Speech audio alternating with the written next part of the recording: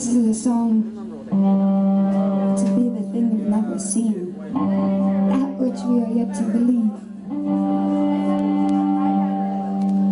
This is a song for my friends.